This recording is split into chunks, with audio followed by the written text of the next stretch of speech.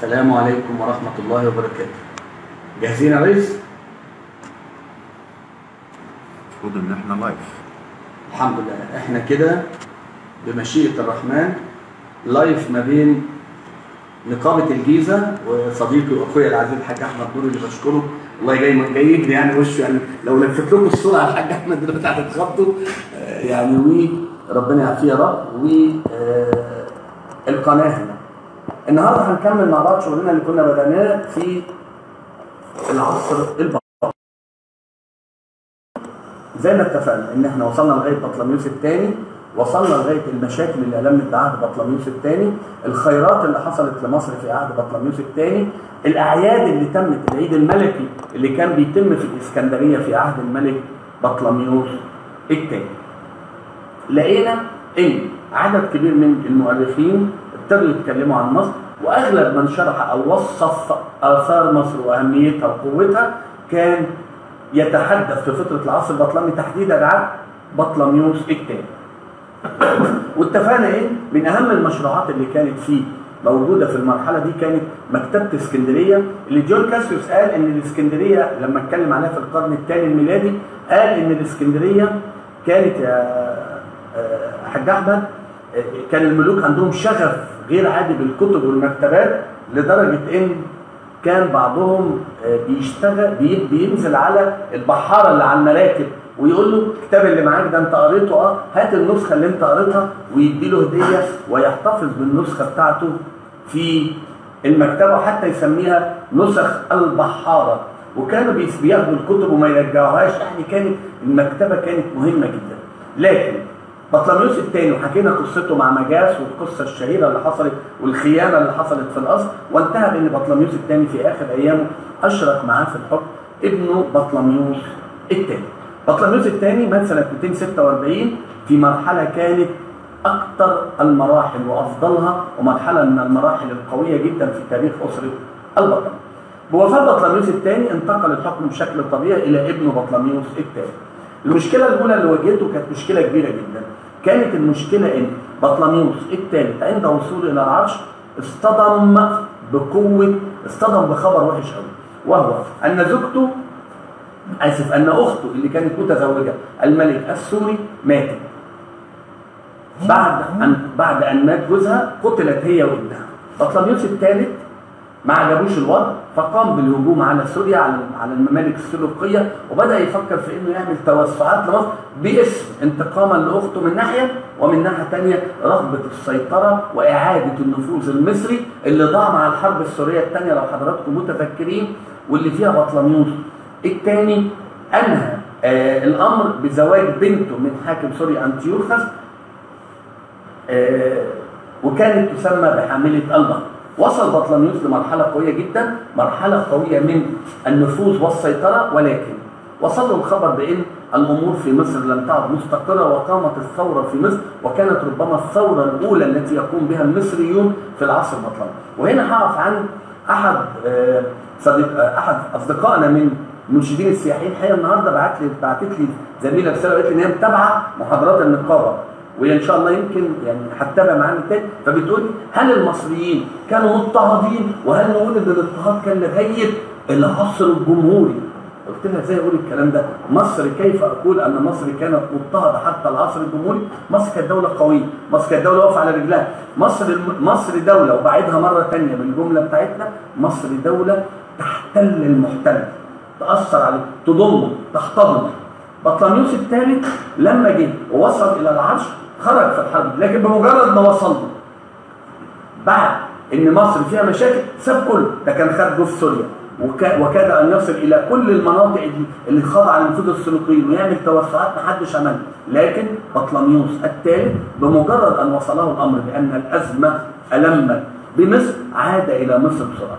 قالوا له إن في ثورة ضدك في مصر. قال أنا آسف على أي حاجة خطأ مني. شوفوا الملوك لما تبقى شوف الملك لما يبقى قوي واثق من نفسه. بطلميوس الثالث قال أعفو عن كل من ثار ضدي في الأزمة.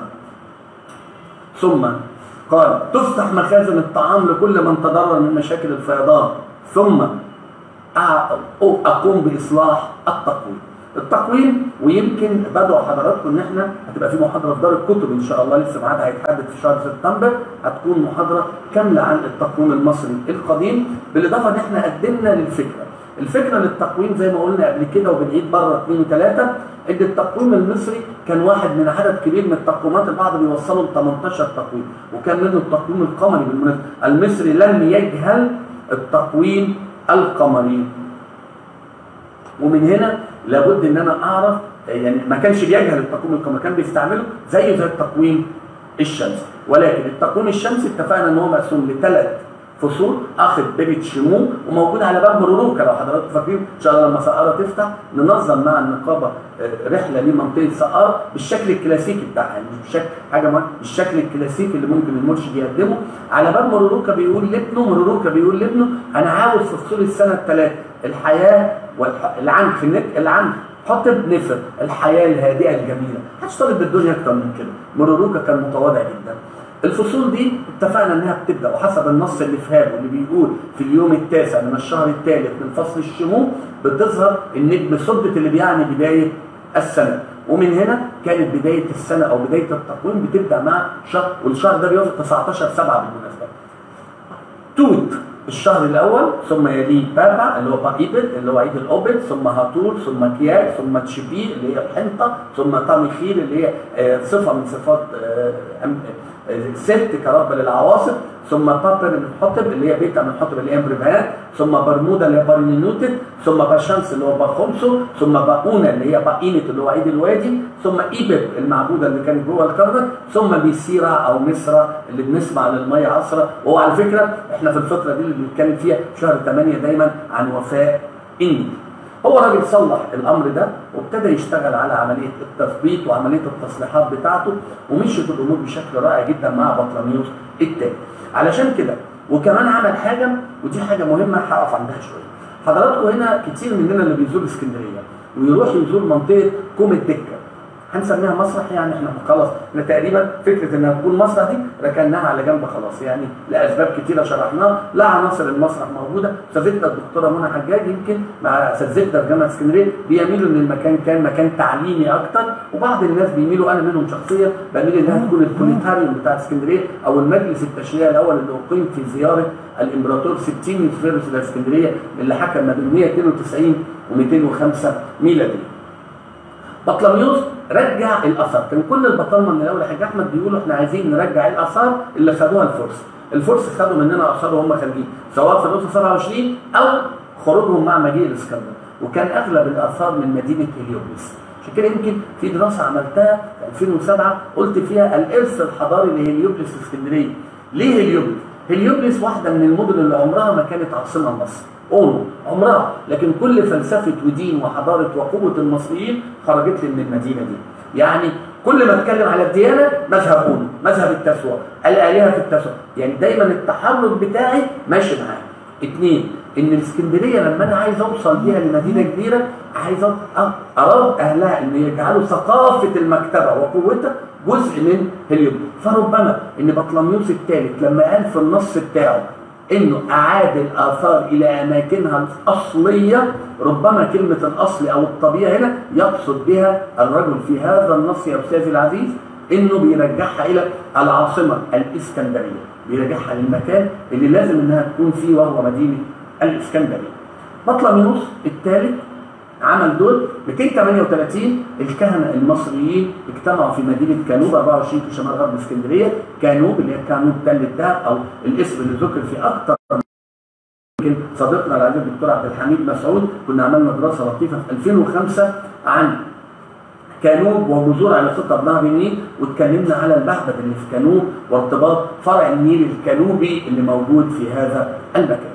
الراجل هنا أو لما اتكلمنا قلنا إن قعدوا في كانوب إذا قريب من إسكندرية قريب من مقر عرش الملك وقعدوا وقرروا في الأمر إن هم يردوا للملك الجديد. قال شكرا شكرا شكرا شكرا على كل اللي أنت عملته. عفيت عن الثوار فتحت مخازن الغلال صلحت لنا التقويم رجعت الحاجة للسنه أنت من النهارده راجل يورجي تيز. ومن هنا بقى بطلميوس الثالث اكتسب محبة المصريين خاصة نختصر ده كله في جملة.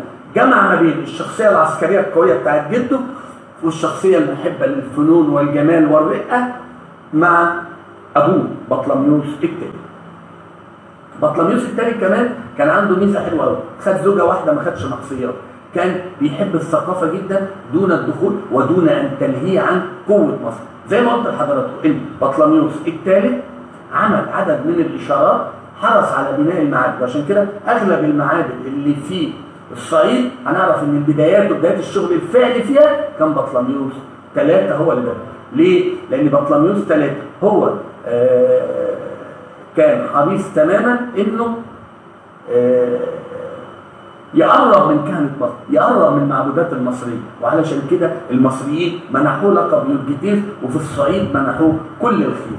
ولكن أتى تبيع. وعلى فكرة ينسب لعهد بطلميوس الثالث إنشاء معبد السرابيوم في الإسكندرية. آه لو حضراتكم بصيتوا في حاجة غريبة جدا هتعرفوها إن كان أدرياني الراجل الطلياني عارفين بوتشو بريتشيا أدرياني. دول الثلاثة الطلاينة الكبار اللي كانوا شغالين عندي في آثار إسكندرية نهايات القرن 19 ومطلع القرن العشرين. أدرياني كان في سنة 39 شغال في المنطقة بتاعت كرموز حوالين عمود دقلديانوس اللي بنسميه تجاوزا عمود السواد. الراجل وهو شغال كان آه، اعتذر إذا كان في عبر قناة اليوتيوب إن في مشكلة في الاتصال لكن هتبقى الأمور افضل إن شاء الله وصفحة القناة هتكمل المحاضرة معانا. آه، صفحة النقابة عفوا. آه، الراجل ده كان شغال ووصل لجزء معين لما قامت الحرب العالمية الثانية اتعب الطلاينه لأن مصر كانت ضد إيطاليا في الحرب أو إنجلترا كانت ضدهم بالتبعيه مصر فجه آلان رو وآلان رو كتب له حسن الحظ إنه يكتشف لوحات تأسيس السرابيوم بتاع اسكندرية اللي كانت من عهد بطلميوس الثالث اللي ارقام اللوحات وكان بالنسبة له شيء من أروع الأشياء وأفضلها اللي قام بها هذا الملك. بعد بطلميوس الثالث لما مات سنة 221 وبعد ما قعد على الحكم حوالي 25 سنة من 246 ل 221 انتقل العرش من بعده إلى ابنه بطلميوس بطلميوس الرابع لما وصل إلى الحكم هي مشي في اتجاه تاني خالص. اتجاه إن أنا أبويا سايب لي شركة كبيرة وسايب لي أرض وسايب لي املاك وسايب لي دنيا مستقرة. بدل ما أنا أقف وأقول لأبويا إن أنت بالنسبة لي شخص كويس وهوسع ملكك بدأت أعيش في شكل مختلف بطلميوس الرابع لما وصل الحكم كان عنده 23 سنة مش عامل حساب معتمد على الموظفين الاوروبيين القريبين منه وكان منهم اثنين واحد اسمه سوسيبيوس كان موظف فاسد لأقصى درجة. الوضع في سوريا بقى عند السلوكيين كان مختلف تماما. السلوكيين الغل واخدهم النار واكلاهم من اللي عمله بطلميوس الثالث بيهم ده نكل بيهم. ولولا الفيضان اللي جه في مصر كان ممكن إنه يقضي عليهم تماما. علشان كده بطلميوس الرابع ما حسبش حساب إن السلوقيين بيعدوا العدة دي. وفعلا في 221 قبل الميلاد قرروا إن هم يتحركوا لاسترداد جوف سوريا وبدأوا يلعبوا على طريق. الطريق الأول بث روح الفتنة والدسائس جوه المصريين الثاني التحرك القومي. بطلميوس سأل سوسيبيوس وسال كان معاه اجاثوكليس مجموعة من الأشخاص اللي قريبين منه إيه اللي عمله؟ قال ولا تقلق كل دي ولا في أي مشكلة. مصر أقوى مصر وابتدوا عارفين حضراتكم الكلام اللي فخم بيه بدون معنى الراجل وقع في الفخ الفخ أدى إلى إنه دخل في الحرب 217 قبل الميلاد الحرب السورية الرابعة أو ما تعرف به معركة رفح قامت الحرب وصل الملك السوري وأخضع كل القوى اللي معاه سنة 217 وابويه وصل وكاد أن ينتصر على المصريين. إيه اللي حصل؟ اللي حصل إن الملك لما خرج لمقابلة الملك السلوقي كان بيتحرك في ثلاث اتجاهات، اتجاه يضم الملك على الخيول، اتجاه يضم المرتزقه على الأفيال اللي كانت بتتدرب في كومونجو، والثالث هو العنصر الخفيف اللي ماشي ورا بالسلاح وهم المصريين. من هنا لما الحرب قامت أضعف الأشخاص أو أضعف القوى الموجودة هي القوى المصرية، لكن الحاجة الغريبة أن القوى المصرية تمكنت من تحقيق انتصار قوي جدا لم يكن محسوبا في عند لا السلوقيين ولا حتى عند بطلميوس الرابع ومن تبعه. المصريين هنا طبعا بمجرد ما حققوا الانتصار والمعدن بتاعهم ظهر اللي حصل هنا إن الوضع اختلف تماما. ليه؟ المصري هنا ابتدى يستخدم انما المصريين دايما إحنا فكرة الحلم والرؤية فكرة بتبقى جميلة الإنسان بيسعى ليها لما يكون مش قادر إنه يعمل حاجة هو هنا بيلجأ للحلم يقول إن أنا حلمت بكذا وحلمت بإن العدو راح وحصل له كذا بطلميوس الرابع قبل بالأمر خاصة وان في مرسوم رفح اللي عملوه المصريين واللي قالوا فيه على الملك إنه إنه فيلوباتور المحب لأبيه الطفل الذي جاء على عرش أبيه ابتدوا يقدموا له الخيرات بس من باب شغال اشتغل؟ طب الحمد لله. زي ما بقول لحضراتكم إن آه القصة كلها اشتملت كالآتي إن بطلميوس الرابع ابتدت التنازلات تكتر ابتدى مش قادر إنه يعمل حاجة ابتدى ياخد من المصريين المصريين هم القوة الأقوى ابتدى يسمع لدرجة إن طلبوا من أو طلب منهم بناء معبد في الصعيد فكان معبد دير المدينة اللي اتبنى الحتحور والمعط وزيت سكر والأمون المعبد اتصور فيه للمرة الأولى والأخيرة في حدود ما هو معلوم حتى لا هل إحنا شغالين تمام حاجة؟ تمام شغال هو لا زال على القناة مش مستقر لكن المهم إن حاجة من. الاثنين شغالة صفحة النقابة أو. القناة الاثنين بيكملوا بعض في العمل بتاعهم. الحاجة الغريبة إن الراجل آه، في المعبد للمرة الاولى والاخيره مثل عندي منظر المحاكمة للملك وهو منظر غريب جدا كان ما كانش معتاد إن إحنا نلاقي بطلميوس الخامس وأنا بشكر كل اللي دخل وكتب وأي تعليقات حاج أحمد بيتابع معايا وأي تعليقات هيبلغنا بيها دايما آه، ونرد عليها وإحنا موجودين. طيب زي ما بقول لحضراتكم بطلميوس الرابع عند موته انتقل العرش الطبيعي إلى ابنه بطلميوس الخامس. استمرار الحكم ليه الولد وصل للحكم في سن خمس سنين. القصة بتقول أمه كانت وصية عليه ملكه ارسينول الرابعه آه، عشان الثالثه آسف أمه كانت وصية عليه الأم واقفة مع ابنها بتساعد الولد. سوسيبيوس واجاسوكليس وحاشية الفساد اللي كانت مع أبوه. مش ما لهمش دور. فبسرعة هجموا وحاولوا إن هم يكون ليهم دور. لكن المرة دي ده بداية التغيير. المصريين لفوا ووقفوا ضدهم. بل ويقال إن المصريين في المسرح بتاع الإسكندرية والبعض قال في الجمبازيوم بتاع الإسكندرية حكموا الناس دول وقضوا عليهم وأعطوا لمصر القوة والسيطرة. وعينوا وعينوا واحد مصري يكون وصي على الشاب أو الغلام بطلميوس الخامس. بطلميوس الخامس لما وصل الحكم السلوكيين استغلوا الأمر، مصر فيها مشكلة، اجري يا ولد. وهجموا بسرعة وقدروا إن هم يقضوا على جوف سوريا ويضيع. أحد الجناحين اللي دايما بنتحرك بيهم بايدينا سيطروا عليه وضاعت جوف سوريا. وعلشان يضمنوا الأمر عملوا حاجة لطيفة جدا. جوزوا بنت ملك. جوزوا بنت ملك سوريا اللي هي الملكة كليوباترا الأولى إلى بطلميوس الخامس. ولكن يا حاج أحمد على الطريقة المصرية. يعني أنت اللي هتدفع المهر يا زبون مش هي اللي هتبقى حاملة المهر المهر كان إيه؟ جوف سوريا وضاعت جوف سوريا وما بقاش فاضل لنا غير برقه في ليبيا. في المرحلة دي حصل حاجة مهمة قوي حاجة يمكن ما أشرناش ليها في بدايتها. في البداية كان في دولة بتخوض حرب ضد حنبعل حاكم قرطاجة الدولة دي هي المدينة التي أنشئت سنة 753 قبل الميلاد وهي مدينة أو دولة روما.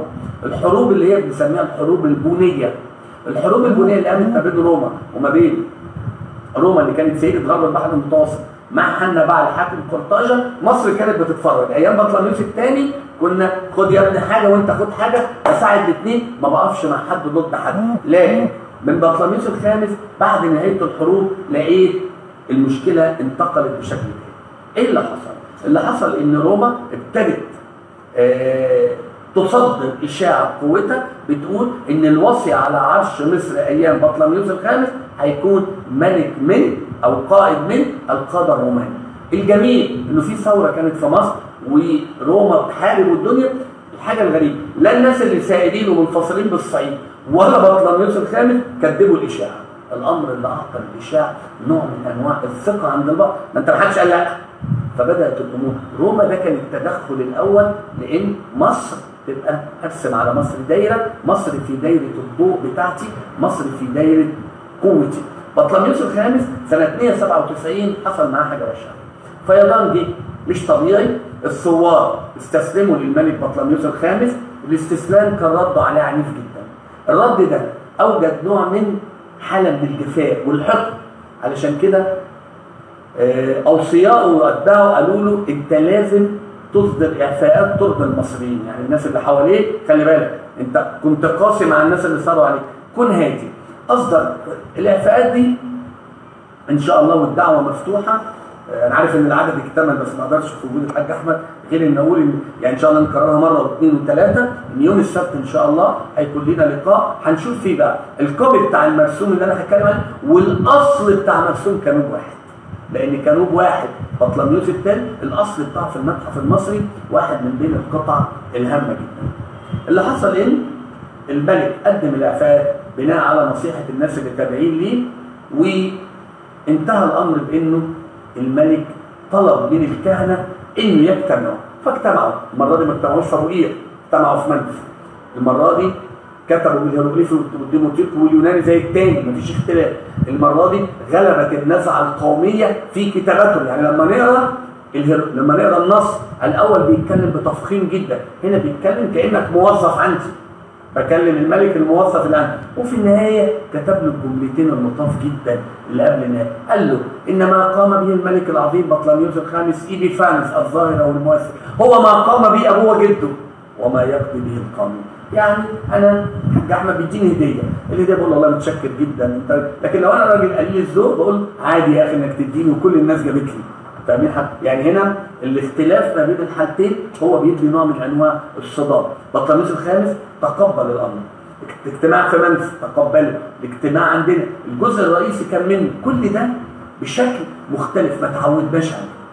انتهى حكم بطلميوس الخامس سنة 180 بشكل مفاجئ عليه بعد ده بعدة آه، من حكمه انتقل العرش لزوجته كليوباترا الأولى وكان معاها من الأولاد؟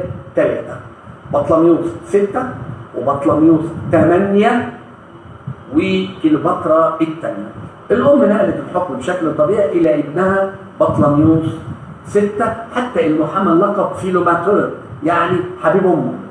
خدت الولد وربته وتزوج من كليوباترا الثانية في الوقت ده حكام السلوكيين مش يسكتوا بقى وخلاص الدنيا تبقى جميلة لا.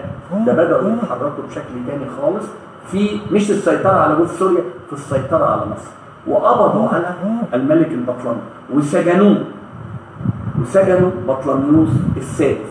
في الوقت ده نقب جم وكلموه قالوا روما هتتدخل. قال طيب حضرتك هطلع. بمجرد ما مشي رجع تاني. روما المرة دي راحت بعد تاني. قالت إيه؟ المندوب الروماني؟ راح واقف. اخرج من مصر. مش هخرج. اخرج من مصر. طب نتكلم. اخرج من مصر. طب أفكر. رسم له دايره على الأرض. قال له اخرج من مصر قبل ما تخرج من الدايرة دي. مصر أصبحت من هذه اللحظة دولة تابعة نفسيا وليس عسكريا لقوة روما. تمام تمام.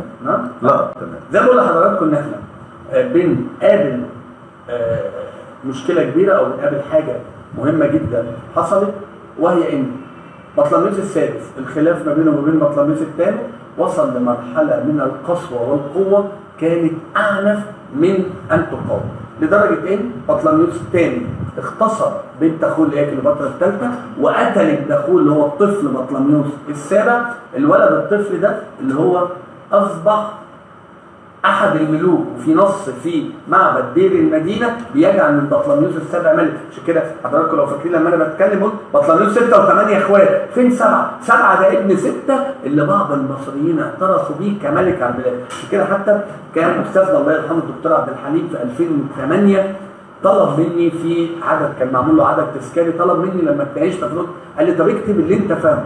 فعملت مقالة حتى كان بالفرنساوي في Sur le règne de Ptolémée Sept نظرة على حكم بطلميوس السابع وإزاي إن أنا بأرخ لوجوده وإزاي إن إحنا لازم نخالف الناس يقول بطلميوس ستة سبعة بيعتبروا ثمانيه هو سبعة. لا سبعة هناك من النصوص. وإن كانت قليلة إلا إنها اعترفت بحكمه كملك على البلاد بطلميوس ستة لما أخوه عمل فيه كده هرب على روما.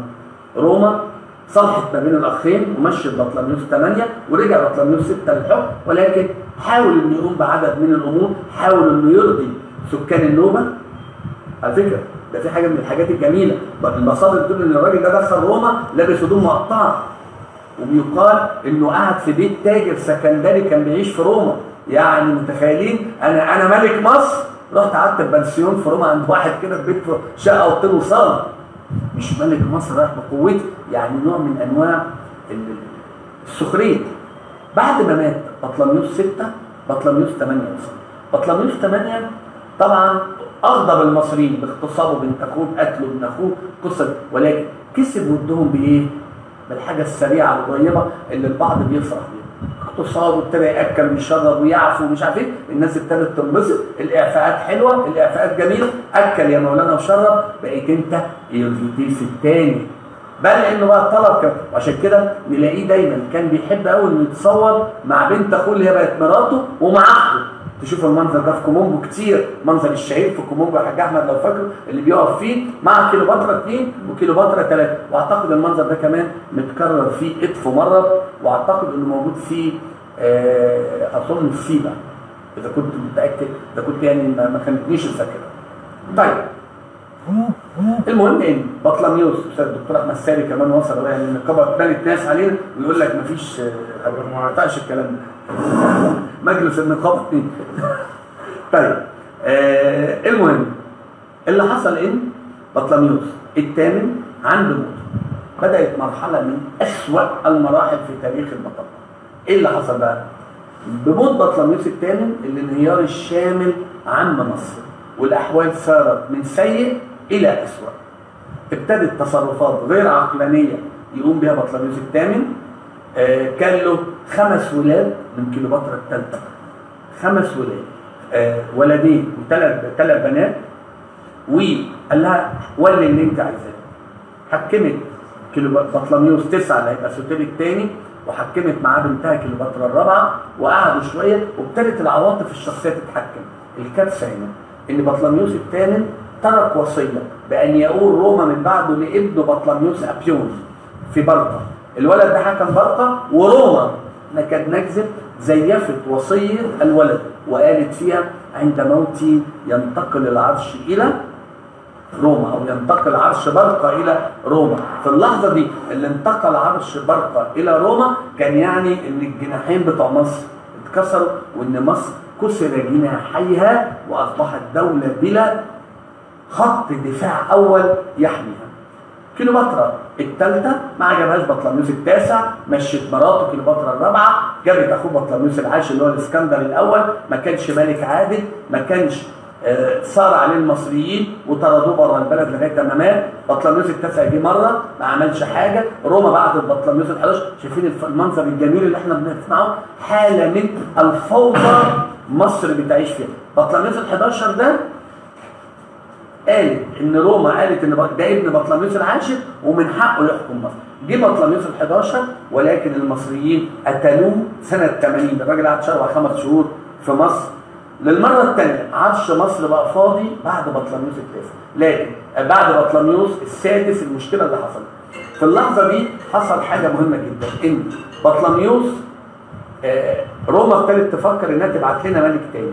في الوقت ده مصر قررت إنها تقف. الوقفه بتاعت مصر كانت فين يا حاج أحمد؟ كانت إعلان مصر أن هناك ابن ابن لبطلميوس التاسع وقالت إن مصر كان له ابنين يعني مصر كانت حاجة لطيفة حتى أنا بقولها من باب الدعابة كانت مصر مخزنة عيال. وقت ما نتزنق نروح مطلعين عيل منهم يشد ويبقى ابن الملك. وصل منهم بطلميوس ل 12 واحد راح قبرص والتاني حكم مصر. ال ال ال يعني المصريين تولى الملك بطلميوس 12 بطلميوس 12 كان اسمه نيوس ديونوسوس الصغير. المصريين هو راجل كان غاوي مزيكا حتى إن إحنا من باب السخريه يبدو إن كان كل واحد قاعد يديله على دماغه اللي يضربه اللي مش عارف إيه. يعني كان راجل كده بالبلدي هزر الراجل ده روما ابتدت تضغط عليه عشان ينفذ أوامرها حاول إنه ينفذ على قد ما يقدر لكن ما قدرش وما ارضاش الاثنين يعني بقت الأمور لا قادر يرضي دول ولا يرضي دول. عشان كده سنة 58 قامت ثورة كبيرة ضده ساب مصر وجري على روما قعد كام سنة في روما يا حاج أحمد؟ سبع سنين. سايب مين هنا؟ سايب بنوتة حلوة كده زي القمر اللي هي كيلوباترا السبعة وسايب ولد أصغر منها بشوية اللي هو بطلميوس ال 13 لما رجع بعد سبع سنين كان بيمضي ورق وخلص فلوسه وبيدين مصر لدرجه إنه جاب معاه مندوب من روما علشان ياخد فلوس مصر. مين اللي جابه في رحلة العودة؟ اثنين من قاده روما ماركوس أنطونيوس وبومبي. مين اللي استقبله؟ بطلميوس ال 13 وكليوباترا السبعة.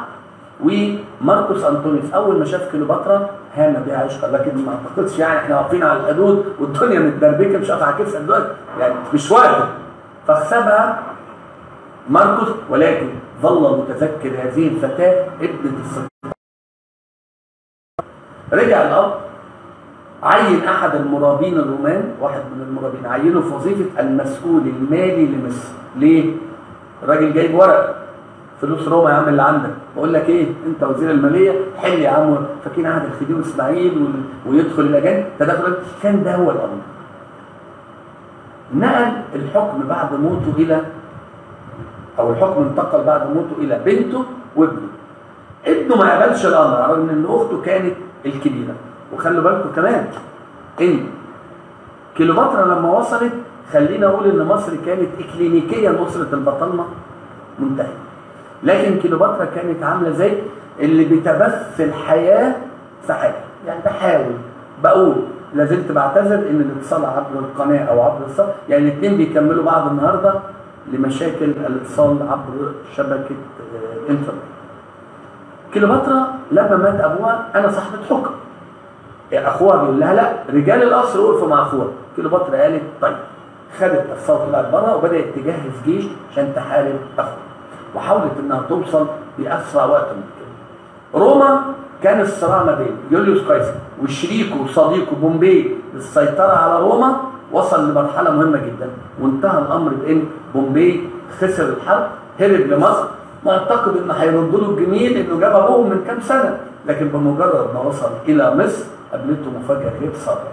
اتقتل في الإسكندرية ويبدو النصيحة اللي اتقالت لبطلميوس ال 13 أنت ممكن تقدر على بومبي لكن مش هتقدر على يوليوس قيصر اللي جاي فسلموا راس بومبي عشان يسقط بومبي آه، يوليوس قيصر حزن جدا يا حاج أحمد على بومبي ويقال إنه تأثر والبعض المؤرخين بيقولوا انه حط راسه فوق العمود ودي القصة اللي إحنا اتفقنا إنها قصة غير حقيقية. يوليوس قيصر ابتدى يتمشى في شوارع إسكندرية ويسمع المشاكل، المشاكل كانت بين مين؟ بين كليوباترا السبعة وبطلميوس ال 13 قال طيب أنا عاوز الاثنين يجوا لي بكرة الوضع اللي بيشير لبعض المؤرخين إن كليوباترا كانت دخولها إسكندرية محفوف بالمخاطر إنها مش مرغوب فيها. بطلميوس ال 13 في اسكندرية. يوليوس قيصر لو ما قابلتوش كليوباترا أصبحت بتهينه. كليوباترا اعتمدت على الحيلة اللي أعتقد إن حضراتكم كلكم عارفينها أكتر مني. السجادة والقصة دي هوب دخلت كليوباترا إلى القصر الملكي. شافها يوليوس قيصر ما أجمل فينوس شافها بطلميوس ال 13 يا دي المصيبة. احتمت هي بروما بشخص يوليوس قيصر. وقعت الحرب 47 48 47 قبل الميلاد وهي التي تعرف بحرب الإسكندرية أو الحرب بيسموها حتى الفرنسويين La civile guerre. الحرب المدنية حرب مدنية قامت في إسكندرية حرب كانت كبيرة. ويبدو بقى إن جزء من المكتبة اللي إحنا اتكلمنا احترق في الحدوتة دي وقامت مشكلة كبيرة ومصر ابتدت تحاول إنها تستعيد نفسها. يوليوس قيصر حرق المينا الشرقي حاول إنه بيقال انه تعرض للاغتيال أكتر من مره يوليوس قيصر آه ألف كتاب كامل عن الحرب دي بالمناسبة. و آه كان بيسخر في الكتاب. لما تيجي تقرأ بيتريق علينا وعلى الجيش المصري. لكن بين السطور بيفكرني برمسيس الثاني كده في قادش رمسيس الثاني أنا كسرت أنا ضربت أنا عورت وكان سطر في النص كده تلاقي حاج أحمد يقول لك إيه؟ يا أمون كنت سايبني لوحدي ليه؟ هو أنا زعلتك يا أمون؟ ده أنا ابنك يوليوس قيصر كان كده. بس في وسط السطور كده وكنت باجي ده لدرجة انه بيقال إن مسرح الإسكندرية استغله يوليوس قيصر لتخزين السلاح والاختباء بيه مع قوة. انتهت الحرب. كليوباترا بقت ملكة على مصر. لازم تدفع الثمن. الثمن كان رحله في النيل ثلاث شهور مع يوليوس قيصر رجعت منها كليوباترا حامل. يوليوس قيصر ساب كليوباترا حامل ورجع لروما بعد ما وعدها بأنها ستكون له زوجة وجوزها كمان من أخوها بطلميوس 14 لأن ال 13 كان مات الحرب. الابن ده اللي أنجبته كليوباترا من يوليوس قيصر هو الولد اللي قال والنبي لا سميه على اسم جده بطلميوس لا يا حلو على اسم جده مين إحنا ناس شرفاء. الواد ده هيتسمى قيصرون بيحكي بعض المؤرخين قصة لطيفة حاج أحمد قيصرون يعني قيصر الصغير وهي لما وقفت في في في معبد دندره طول المعبد ابن أهو التيجان والنبي خدوه. بيحكي بعض المؤرخين قصة قد تكون مقبولة وقد تكون لكليوباترا مع أولادها من ماركوس انطونيوس بيقولوا إنها لما جت تولد تعبت قوي. فيوليوس قيصر كان شاطر فطلب من أحد الأطباء انه يساعدها وكما فعل مع سيده كانت كفيفة واساعدوها في الولادة. بعت الراجل فجه فتح فتحة في جانب البطن الكليوباترا وأخرج الجنين فقال المصريون ما أجمل ولادة القياصرة. مش ولادة مصرية ويقول البعض إن من هنا جاءت كلمة السيزاريان أو العملية القيصرية أو زي ما بنسميها أما الله يرحمها كده عملية فتح بطن. يعني لا قيصرية ولا هي عملية شق بطن توكل على الله. طيب كيلوباترا أنجبت الولد آه بعد ما أنجبت من يوليوس قيصر بقت أنا ملكة روما. ليا ليا في روما حق. ومش تسكت بقى. 47 خلفت عيل وهو عام 30 سنه 44 لفحت الواد على دراعها وتوكلنا على حط لي الشاي يا محمد. لفحت الواد على دراعها وعلى فين يا حاج أحمد؟ على روما. وراحت شوف لك حل بقى؟ الواد ابنك وقعدت أسبوعين. يوليوس قيصر على فكرة كان بيحترمها جدا وقابلها مقابلة أكثر احتراما لكن الريح جت زي ما بنقول بما لا تشتهي السفن. اتقتل يوليوس قيصر في السيناتو وكان بيتزعم المعارضه بروتوس ابن يوليوس قيصر بالتبني. فاكرين القصة؟ حتى يا بروتوس اذا فليمت قيصر ولتعش روما يا. طبعا الهزيمة دي والنهاية دي كليوباترا ما كانتش متوقعاها يا حاج أحمد. يا نهار أسود أروح فين؟ لفحت الواد ورجعت بس ذكاء وهي راجعة ابتدت تعمل اتفاقيات تجارية ابتدت تشتغل تشتغل شغل اقتصاد شوية ونجحت في كده فعلا وحققت مكاسب لمصر أنست الناس ديني في الوقت ده روما كانت مولعة بعد موت يوليوس قيصر ما بين اعدائه وأنصاره. وانتهى الأمر بانتصار أنصاره وكانوا اثنين أقوياء. ماركوس أنطونيوس اللي جاب كليوباترا من كام سنة وصديقه وابن يوليوس قيصر بالتبني وهو اوكتافيوس ماركوس انطونيوس خد الجزء الشرقي من إمبراطورية روما أو من قوة روما واتحرك ووصل إلى طرسوس في سوريا وبعت لكليوباترا طالب اللقاء. كليوباترا راحت ما بذلتش مجهود كبير. ما تعب- ما تعبتش معاه في إنها تساومه لأن هو كان متذكر الفتاة الجميلة اللي قام بيها عشقا بمجرد ما جه كليوباترا لا فسح في النيل ولا يا حبيبي لا. طب أنا متجوز أخت أوكتافيوس قالت له ماليش دعوه وقع في غلطة الزواج بين كليوباترا وأنجب منها وأعلن إن الإسكندرية عاصمة الجزء الشرقي لروما وأعلن أن ابن ابن قيصرون ابن ليوليوس قيصر شر وإن ولاد. يعني ابتدى يتكلم بشكل رهيب وعملت له معبد القيصرون وابتدوا يتصوروا والقانون الروماني بيولع في الدنيا هناك. يعني الدنيا ما بقتش في وقف تاني شغال شغال. طب الحمد لله. الدنيا ما بقتش آه، حلوة ما بقتش لذيذة يا حاج احمد فكان على كليوباترا أن تواجه مصير. إيه المصير؟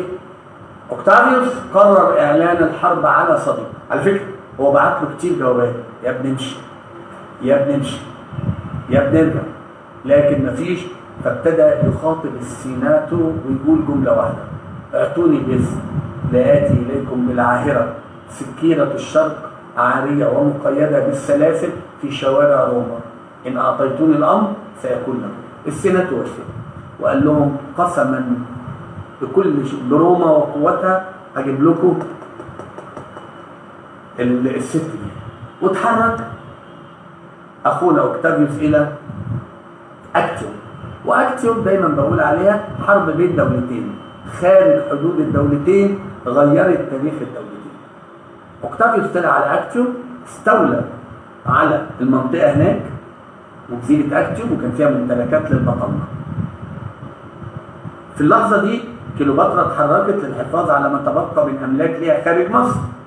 اوكتافيوس انتصر عليه وكان ذكي لأنه يعلم إن ماركوس أنطونيوس مش شخص محارب على أرض بحريه فهزموا. وهم راجعين ابتدى ماركوس أنطونيوس يستشعر بالندم إنه ما رجعش لصديقه. ابتدى يحاول إقناع كليوباترا اللي كشفت عن وش تاني قالت له مش هينفع. مش قال أنا ملكه مصر. قال لها يا كيلوباترا زي ما قال بلوتارخ.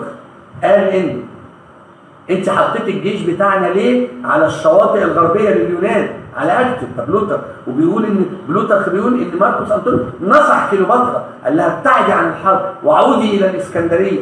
وقال لها هنبقى موجودين. بس كيلوباترا كانت وسواسة جدا. كانت مرعوبه مرعوبه من ناحيه أحمد؟ من ان يحصل اتفاق منفرد ما بين ماركوس أنطونيوس واوكتافيوس هي اللي فدايما كانت عايزة تضمن لا أنا الملكه لا أنا المسيطرة لا أنا المهيمن. عشان كده لما يأس تماما بعد هزيمة اكتيوم ماركوس أنطونيوس تعامل مثل الجندي الروماني الحر بأن وضع نصل السيف, السيف في بطنه وقتل نفسه لأنه لم يكن أمينا ولم يكن شجاعا. كليوباترا فقدت حليفها. فلوسها ابتدت تقل. بلوتارخ قال إن كليوباترا ضيعت أنطونيوس بدخولها في معركة بحرية. بلوتارخ كان بيكره كليوباترا جدا. ولما كتب السيره الذاتية لماركوس انطونيوس كان يعني آه عنيف جدا. وقال إن ماركوس انطونيوس قبل موته لاحظ حاجتين. إن كليوباترا ابتدت تنشر إشاعة كل شوية إن أنا مت وانتحرت. والجنود ابتدوا يشوفوه هو هايم عشقا ورايح وجاي ورا الست.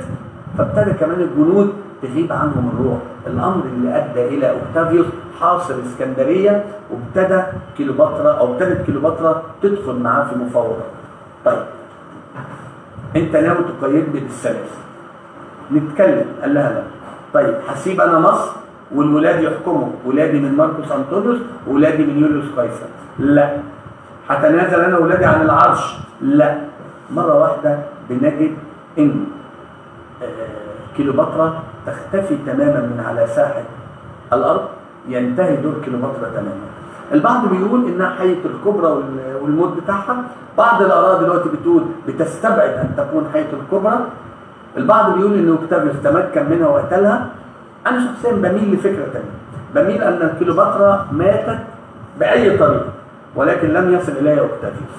ويبدو إنها ماتت بأيدي مصرية ودفنت بعيدا في مكان مختبئ حتى لا يشعر أحد أو لا يعثر أحد على جثتها مش معنى كده إن إحنا هايمين عشقا بكليوباترا. أنا بدافع عن نفوذ وملك وملك مصر كليوباترا ماتت 30 قبل الميلاد. أوكتافيوس دخل هذا الشاب العصام اللي وصل إلى حكم روما. ووصل الإسكندرية وأعلن إعلاء شأن روما على العالم كله. وعشان كده كان ذكي جدا إنه جعل روما هي اللي رقم واحد. ما عملش زي يوليوس قيصر. خلى روما رقم واحد وقال أنا خادم روما أنا تابع لروما أنا متابع أنا عبد يعني كل عشان كده السيناتو سنة 27 قبل الميلاد يا حاج أحمد إدى لأوكتافيوس لقب اوغسطس المبجل أو الرهيب أوكتافيوس في إسكندرية اصدر العملة بتاعته اللي رسم عليها التمساح وكتب Aegypto Capta سقطت مصر. وقف في إسكندرية في خطبة في الجيمنازيوم قال أنا بحترم الديانة والعقيدة المصرية إن مصر دولة. قال له طيب طالما أنت بتحترم الديانة والعقيدة روح يا عم زور السرابيوم ما بزورش حيوانات. طب يا عم روح زور قبور البطل ما بزورش أموال مش هزور غير قبر الإسكندر. الأمر ده بيفسره البعض بإنه أراد أن يعلن نفسه بزيارته لقبر الإسكندر إنه وريثه أو خليفته على العرش. اللقب بتاعه اللي خده الديسوبيتي بتاعه. عارفين كان إيه؟ حاكم الحكام حكا حكاوه. اسمه كده حاج أحمد. حكا حكاوه ستة ان بتاح حاكم الحكام الذي اختاره بتاح رجع على منف. طب هتبني مدينة؟ قال لهم مش هبني مدينة. أمال هتعمل إيه؟ حد كام حتة كده في اسكندرية سماها نايكوس بوليس أو نيكو بوليس اللي هي لها نايكوس علامة النصر حتى ان إحنا لغاية دلوقتي الماركة اللي إحنا بنلبس بيها تشتغل على نايكي اللي هي رمز النصر مرتبطة باسم المعبوده نايكوس ربة النصر نايكوس بوليس ضاحيه النصر وقال للسيناتو أنا ليا طلب. مصر مهمة جدا جدا جدا جدا بالنسبة لي في الأمن. بالظبط. قال لهم اذا ما حدش يجي ناحية مصر إلا بإذن مني. وبطلب مني وورقه مكتوبة مني ايا كان الشخص ده. قالوا له موافقين وسمحوا لهذا الأمر أن يتم. وادوا له السلطة الكاملة وعين الولاه من طبقة الفرسان مش زي ولاه في أي حاجة. أول والي كان مين؟ كان كورينيوس جالوس. أول ثورات في الصعيد وثورات في النوبه وعمل اتفاق مع النوبيين يا أستاذ أحمد قال فيها إن أنا هعمل منطقة عازله ما بين الطرفين وسجل في فيله النص ده. وصور نفسه بصورة واقف الراجل أما تشوف المنظر لو حضرتك لأول مرة تشوفه تقول أو يعني تشرح المنظر من غير ما تقبل تصوير للملك الروماني وهو يقف يعلن اتفاق الصورة دي اتنقلت مش كلام المرشدين لاوكتاف لاوغسطس اوغسطس خدها وقال له تعالى عزله من المنصب ونفاه وعين مكانه إليوس جالوس. إليوس جالوس اتحرك عندي لمنطقة اليمن. ولما نزل إليوس جالوس لمنطقة اليمن فتح طريق النوبيين. ابتدوا يحسوا إن الرومان مش مهتمين. خلاص ابتدوا يهتموا باليمن. نكثوا الاتفاق اللي عملوه مع كورينيوس جالوس وقاموا بثورة. هنا في أغسطس بعت أحد القادة بتوعه اسمه جايز بترونيوس بعتوا اسوار وقضى على نفوذ النوبيين لغايه دلوقتي يوم السبت هنبص عليها ونتكلم عليها على المرويين لدرجة إن هم طلبوا الصفح والسماع من آه، الوالي وقال لهم إن عشان يصفح عنكم اغسطس في جزيرة ساموس. روحوا له. هو يوافق. الإمبراطور وافق وقال لهم يشيد معبد فيه كلبشة للمعبود المحلي مندوليس ومندوليس الصغير وقال لهم هصور أنا معاه ويمكن هيرجع الخلاف القديم قوي اللي بينه وبين الحاج أحمد إن على كل واجهه المعابد في النوبة هنلاقي الواجهه اللي بره لما بيتكلم على أباطرة الرومان بيحطوا اوكتافيوس أحيانا وأحيانا بيحط كلمة بر الفرعون أو الملك عدل اوكتافيوس وضع الجيش المصري خلاها ثلاثة بدل من اثنين واحدة في الشمال واحدة في الجنوب وحط فرقة ثالثه في مصر الوسطى. عمل المعابد لجنة تدير المعابد جرد الكهنة من نفوذهم حتى حرم على المصريين مجلس البوليتاريوم عمل لليهود مجلس الجيريزيوم المجلس التشريعي وده اللي هيسبب إن إحنا يبقى بيننا وبين اليهود كره بشكل كبير.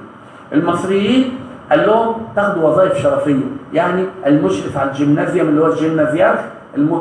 يجي ياخد الوظيفة دي مصري. خلي بالك الوظائف اللي ياخد أو الاجروناموس المصري ليه؟ لأن الوظائف دي وظائف بتدفع فيها عشان تاخدها. عارفين حضراتكم إيه؟ يدفع عشان ياخد البشوية والبكوية كان كده يدفع عشان ياخد الوظائف دي. عمل أسطول يربط ما بين روما وإسكندرية و الفرقة الثالثه اللي عملها في مصر الوسطى برضه أقول عليها حاجة انه ربما وضعها كنوع من أنواع تأمين التجارة اللي جاية لمصر من البحر الأحمر عبر الهند. اوغسطس كان أي منطقة خاضعه لنفوذه يقول عليها بروفينانس إقليم أو مقاطعة أو ولاية إلا مصر. ما كانش يجيب كلمه مصر بكلمة province ابدا. آه برضه في ناس تانية يقول لك لا يا عم انت كذاب بتضحك عليه. لا الراجل كان معتبر مصر آه، ولاية عادية. آه مديها شوية برستيج القمح والبردي ده لكن في النهاية مصر كانت زيها زي. اوغسطس عنده موته كان الوضع طبعا في فتره حكم اوغسطس ربما تكون حدثت الزيارة الرائعة العظيمة التي قامت بها السيدة العذراء والسيد المسيح ويوسف النجار إلى مصر وهي ما تعرف بزيارة العائلة المقدسة. إلى مصر هذه الزيارة اللي هنا هقول حاجة مهمة. لماذا جاءت العائلة المقدسة إلى مصر وليس إلى غيرها؟ كتير مننا يقول لك وأنا عارف طبعا الدكتور إيفان يمكن أفضل مني كتير وقدمها بشكل كبير. لكن هيأذن لي يعني تأذنوا لي إن أنا بس أدلي بدلو كده بسيط فيها وهي إن اختيار مصر كان ذكي جدا. اوكتافيوس اللي هو اوغسطس بعد كده منع على أي حد يدخل مصر من القاده ايا كان منصبه إلا بإذن منه. الناس الغلابة زي الست العذراء وشايله عيل لو هربت وجت الجيش الروماني مش هيبعت جواب للإمبراطور يقول له اسمح لنا ندخل مصر عشان نجيب واحدة ست هم مش عارفين ده مين ولا دي مين ولا القصة. فإذا هروبها لمصر كان ضمان للأمان إن محدش هيذبحهم. وعلشان كده العذراء اتحركت في مصر الفترة اللي البعض بيعرفها بثلاث سنين ثلاث سنين ونص هقول لكم حاجة يمكن قريتها عجبتني قوي ابن الأثير والطبري تحدثوا بأن العذراء استقرت في مصر مع ابنها ويوسف النجار ل 12 سنة. بل إنهم فسروا الآية القرآنية وأويناه إلى ذات ربوة وقرار معين بأنها مصر.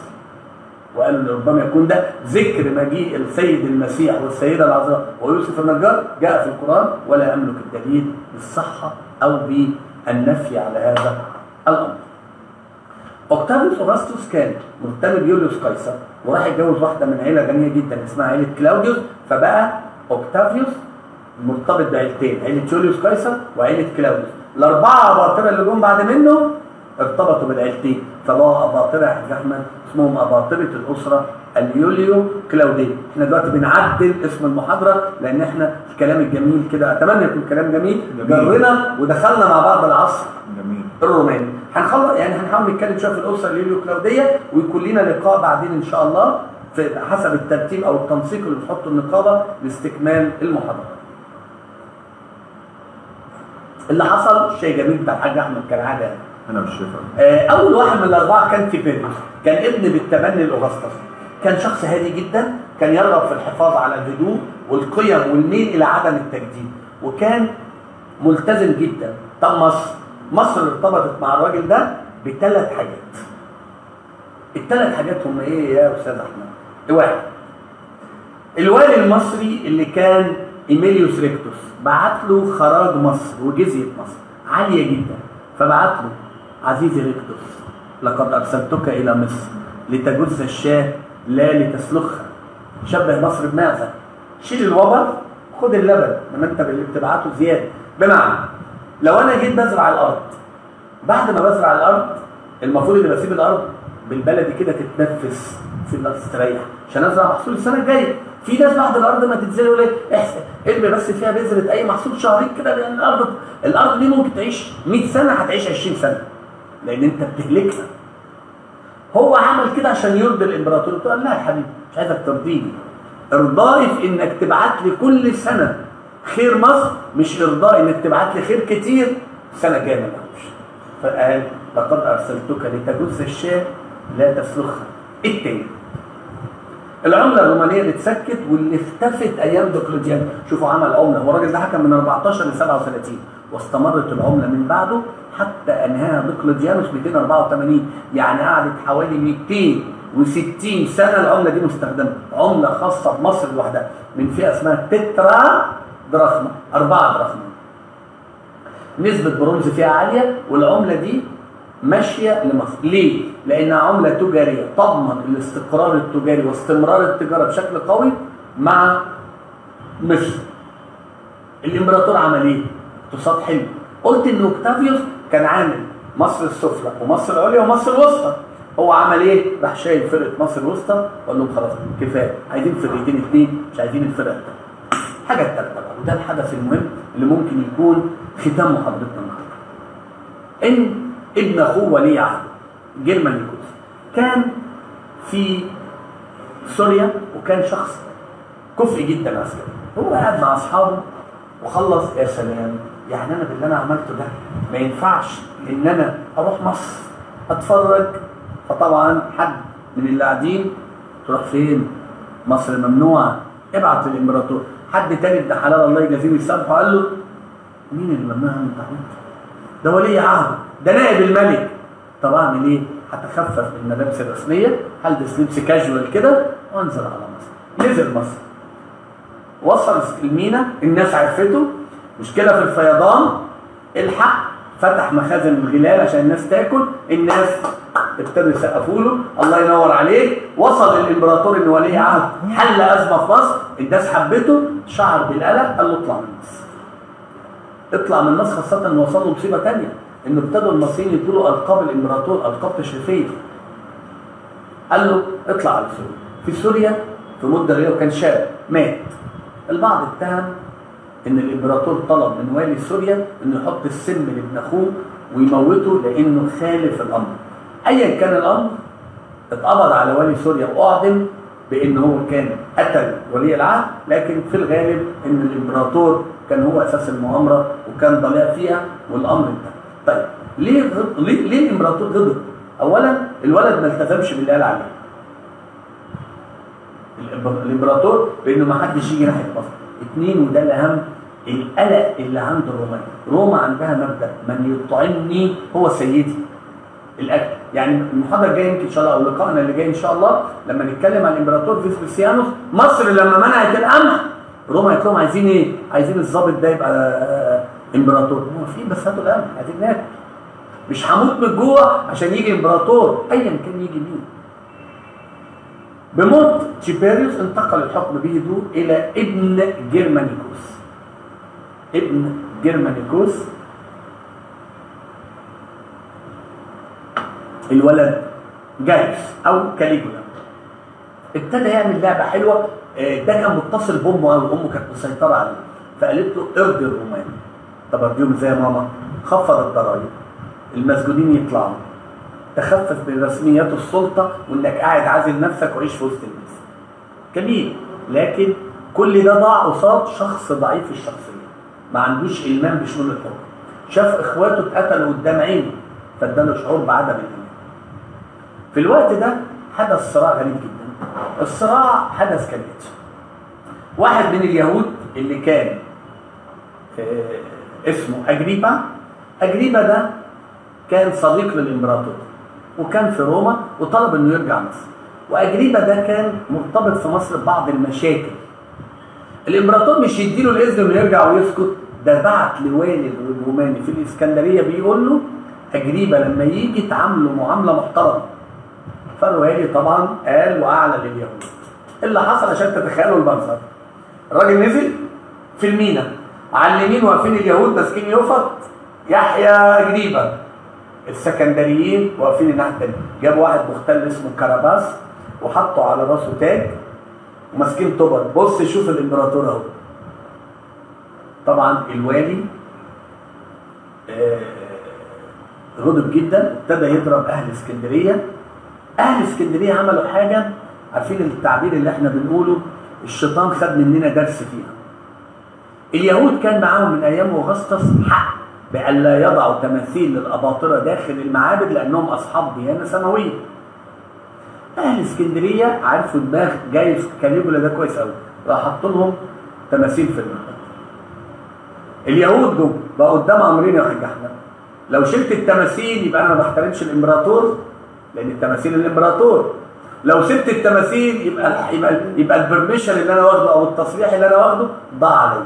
اليهود غضبوا دخلوا في صراع اللي بنسميه فتنة 38 وصل الأمر للإمبراطور الوالي قلب على اليهود ألغى الامتيازات بيهم وطرد عليهم ويوم عيد ميلاد الإمبراطور قتل عدد من اليهود وجلدهم على كأنه بيرضي الإمبراطور. السكندريين ابتدوا يخلوا الست اليهودية اللي ماشية في الشارع تخلع ملابسها وتتضرب في لون السكندري اللي بيقول كده. الله أعلم ما مدى الأمر وعانت سيدات اليهود كما يشير في لون لتحرش لم يعانوه في مرحلة من قبل. اليهود بعت شكوى للإمبراطور وقالوا له إن الوالي أساء التصرف. الإمبراطور بعت جاب الوالي وحكمه وأعدمه. وارسل قال أنا عاوز وفد من السكندريين ووفد من اليهود. تخيل بقى حضرتك حاج أحمد إنك ماشي في الشارع واحد قدامك بالعربية خبط واحد وقتله. ويجي ضابط الشرطة يقول لك إيه؟ اتفضل مع السلامة ما تعملش كده ده بالظبط اللي عمله الامبراطور يسمع من الاثنين وغضب وقال لهم اللي أنتوا بتعملوه ده غلط ولازم أنتوا الاثنين تقعدوا.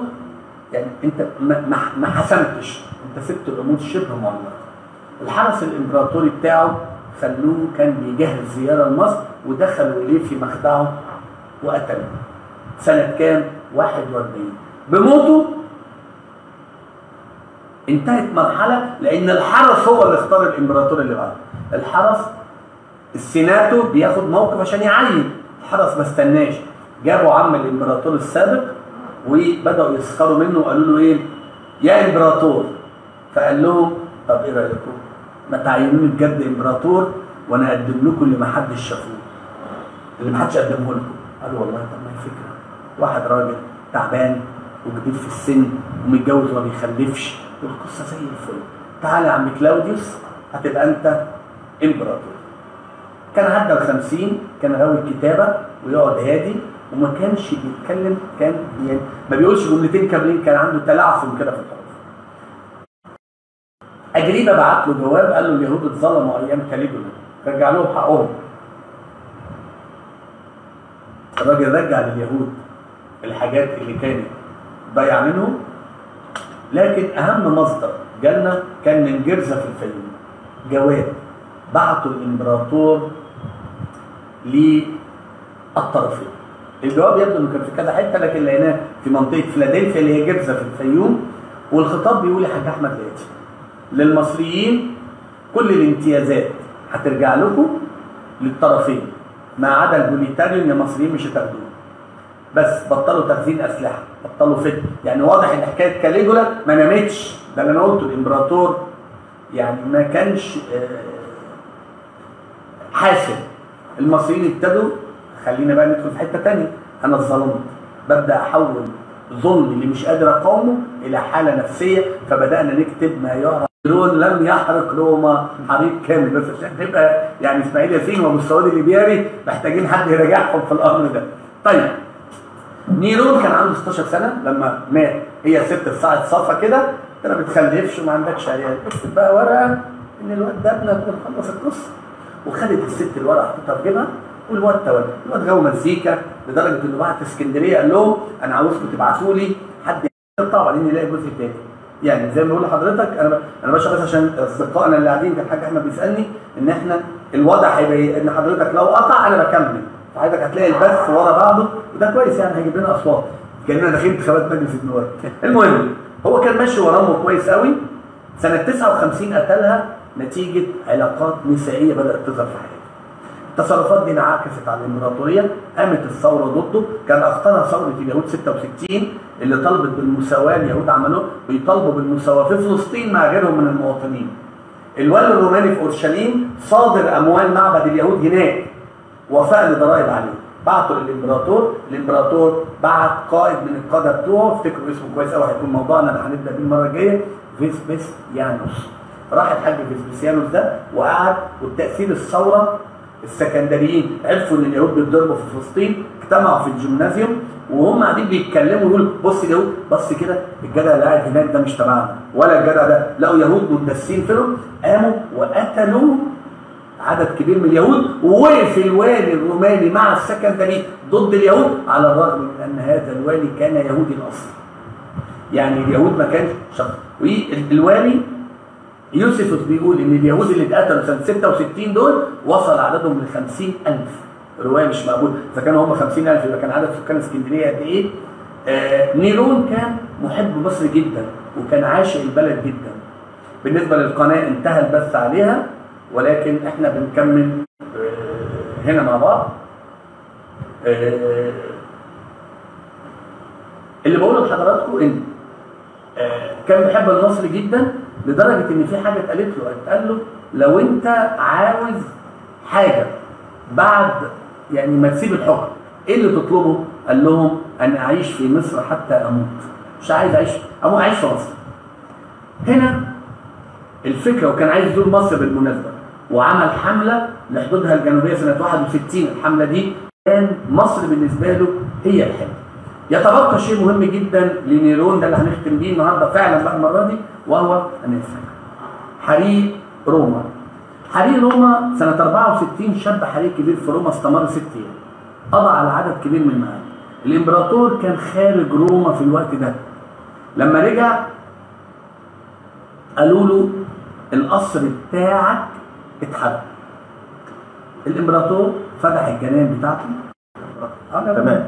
طيب. هو نيرون زي ما قلت كان بره روما ورجع قالوا له القصر اتحرق. حزن وجاب الناس اللي بيوتها اتحرقت وقعدهم وفتح لهم الجنان بعديها تانية في أحد الأحياء في طرف المدينة شاب حريق كبير. والعامه بقى والغوغاء ابتدوا يقولوا لا ده الإمبراطور عشان يعيد بناء المدينة كلها اتحرق حتة يولع في بقية البلد. وهنا الإمبراطور ابتدى يعيد بناء روما من جديد على فكرة. ولكن آه الناس ما كانوش حابين يبدو إن لعنة قتل الأم طردته. وعلشان كده قالوا إن هو أحرق المدينة. الحقيقة يعني واكاد انصفه إنه لم يكن مسؤول عن الحريق الأول على الأقل لأنه كان بره روما. لكن الحريق الثاني ممكن نقول لكن حكاية عايز سيبوني عايز أولع روما. حتى لو الفكرة اتقالت فإن فكرته كانت راحة لإحياء روما. عشان كده كتير من المنشآت بنلاقيها في روما ترجع لعصر الإمبراطور نيرون. بموت نيرون تنتهي الأسرة اليوليو كلاوديه بصوا في حالة أي صراع وخلو للعرش في أي مجتمع في أي حتة في الدنيا قوتين بيقفوا قصاد بعض. السلطة العسكرية والسلطة التشريعية. مين هنا اللي يتقدم؟ إذا حصل انسجام ما بينهم خير وبركة. حصل تنافر يبقى هنا المشكلة. السلطة العسكرية كانت قوية جدا بعد موت نيرون 68 ومن 68 ل 69 أربع أباطرة تولوا الحكم ثلاثة والرابع كمل عشان كده بنسمي السنة من 68 ل 69 عام الأباطرة الأربعة. أول ما حصل هيمنه الجيش دارت القائد فيه.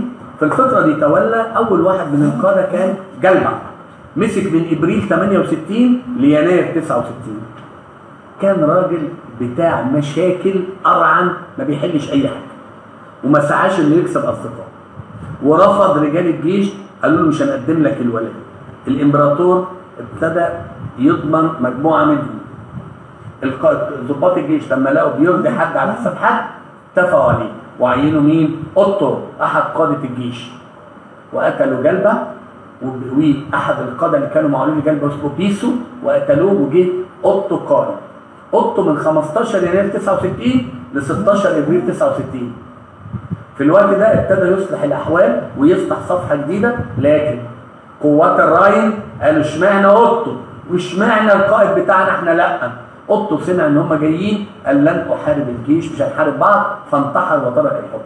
قوات الراين دخلت وقالوا القائد بتاعنا يبقى امبراطور السينات وافق وعين تيتيلوس قائد. ده يحكم من إبريل لغاية ديسمبر. في الفترة دي كان الراجل ده ابتدى يرضي قوات الراين اللي جابته وابتدى يسيء لقوات الحرس الإمبراطوري وأي حد يقف ضده. وابتدت الأمور تتخرج أصبح الرومان في حالة عدم رضا ومستنيين طاقه نور. في الوقت ده كان طاقه النور موجودة في فلسطين. من فيسبسيانوس اللي بعته. اللي بعته نيرون سنة 66 عشان يقضي على ثوره اليهود والشكوى اللي قدموها اليهود من إن الوالي والقصة دي. فيسبسيانوس قال طيب أنا يا تيتوس يا ابني يا جميل هتقعد أنت هنا مكان سوريا وأنا هروح على فين؟ على مصر. وجه مصر. وقال للمصريين الوالي الروماني قال له إحنا ممكن نساعدك. شايف شايف المباني اللي ملهاش آخر دي واللي اللي العين مش جاية؟ قال له قال له ده القمح بتاع مصر. قال له ناوي على إيه؟ قال له مش هنبعت القمح السنة دي. مش هنبعت. الرومان التجار الرومان واقفين على الشواطئ.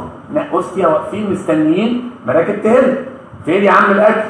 قال لك مصر مش بعت قمح. أمال بعت إيه؟ بعت الجواب ده. بيقول إيه الجواب ده؟ لم ترسل مصر قمح إلا حين يتعين أو يكون فيسبسيانوس إمبراطور.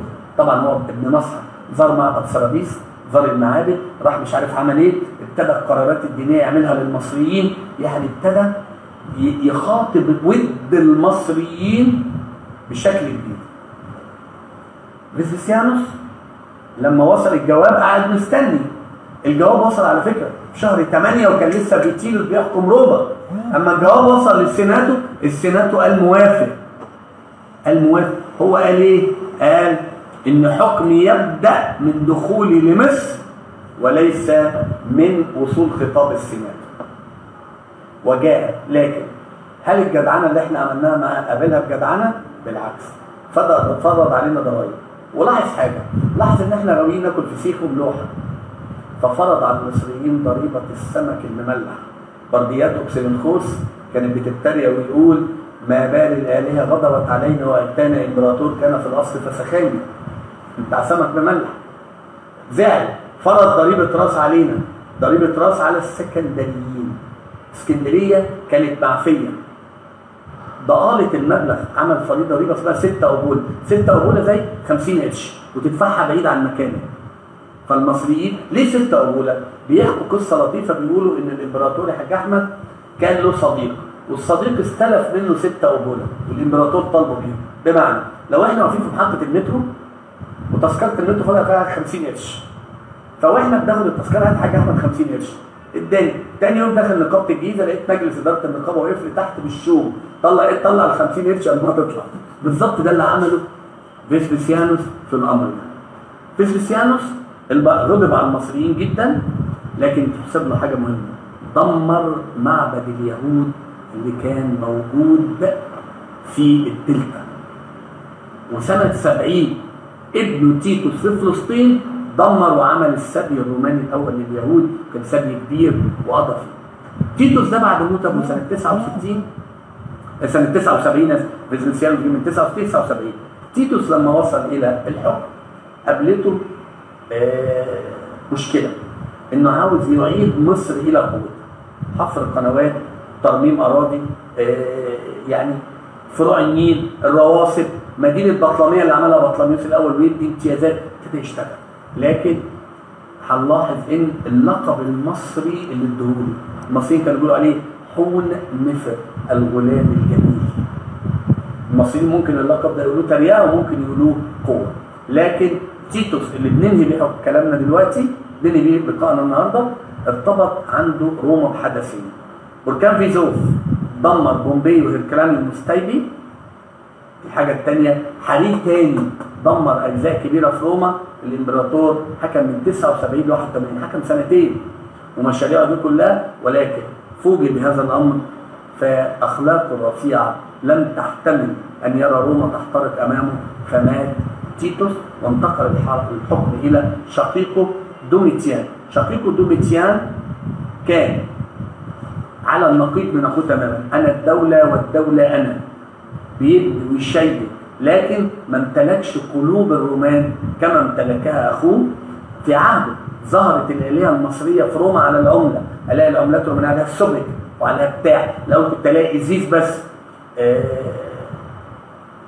بعد 15 سنة حكم من 81 96 دوميتيان ده اتقتل بإيد الحرس بتاعه لأنه كان بيشكل محاكم. الحاج أحمد بيجي حد يبلغه إن فلان عمل كذا ما يسألش ويقتل المتهم بريء. لا هو معتبر كل بريء متهم طالما اتقال اسمه.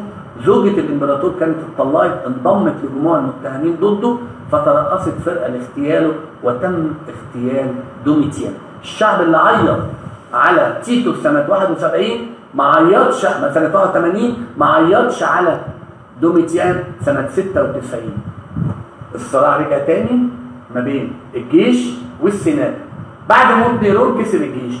بعد موت دوميتيان مين اللي كسب؟ اللقاء الجاي إن شاء الله تعالى. هنا في نقابه المرشدين يا رب يكون ربنا فرجها ويبقى مش أونلاين يبقى offline إن شاء الله. متواجدين. شكرا. جزيلا لحضراتكم. كمل المرحلة الرومانية بإذن الله اللقاء القادم وفقا لميعاد هيحدد لاحقا وفقا لجدول النقابة بإذن الله تعالى. أشكركم. شكرا جزيلا. وتحياتي الحاج أحمد والمجلس النقابة. شكرا جزيلا. شكرا يا دكتور ودايما منور دايما منورنا في نقابة المرشدين بالجيزة وشمال الصعيد وإن شاء الله نستكمل مع حضرتك والمرة الجاية إن شاء الله يكون في حضور بإذن الله. إن شاء الله. إن شاء الله. شكرا. شكرا.